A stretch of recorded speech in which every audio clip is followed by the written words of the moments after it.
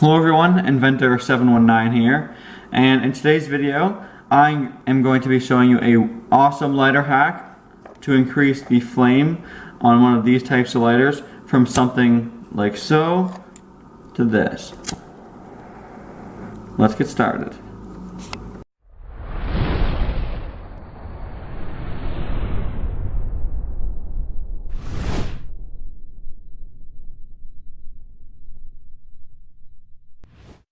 Now, for this project, all you'll need is this specific type of lighter and a small tip screwdriver used for prying stuff open. The most important step is to get the right type of lighter, and so you need something just like this red one on the left, and generally these do not have name brands. Uh, mine here says Canada Light, but it could be different for yours. And the key is that it has this adjustable knob right here. So that's the one that you will need. Now other lighters do have the adjustable knob, like this one here called X-Light, and it does still work pretty good. Not as good as the other one, but if it has the knob, it will work. This will not work with Bic lighters, as you can see. There's no adjustable thing and Bic lighters just suck, so don't buy one of these ones.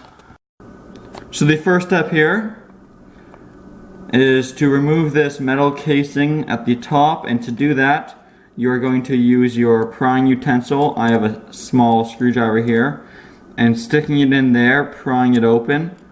You can also stick it in here somewhere. And the key is to only remove this metal casing. Make sure not to remove the wheel as it is almost impossible to put back in. So as you can see, I have removed the metal casing and this is what it looks like right here.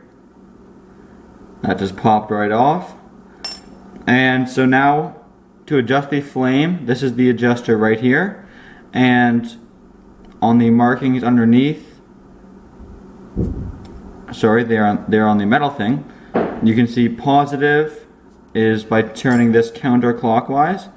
So what we're going to do is turn it as far as you can counterclockwise and then as you can see here it just engages those gears. So lift up the black ring to disengage off of the white gears. Push over to the left. So we are not moving the white spindle. Push down again to re-engage and open.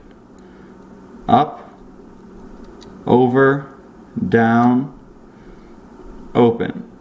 So I'm going to do that about four times and then we're done the modification. And for an additional step, you can replace the metal cover for safety or looks. So there's the final modification, before and after.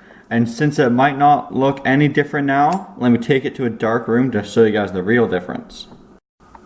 Here we are. This is the pre-modified lighter and this is the one we modified a little bit so let's compare. Not bad. Nice. And it doesn't go in on its own sometimes so you gotta give it a little shake. Once more comparison. Hard lighting them both at once. And there you have it Pretty cool modification. Before and after. So I hope you enjoyed the video. Learn how to do this nice easy modification. Key is to get the right lighter and follow the steps I showed you. And be careful as if you open it too much there is the chance of it going back down the tube and exploding in the lighter. So be very careful and do it somewhere where if it does explode it won't burn your house down so I'm not responsible, but uh, said my part. So anyway, thanks for watching. As always, please like, comment, and subscribe. Help me reach the 100,000. Hey guys, hope you enjoyed the video.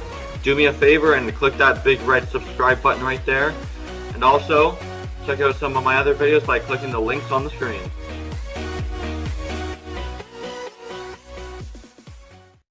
Here's for all my real fans who made it past the end card in the video. Nice little bonus video for you guys. Got four modified lighters here. And let's do this.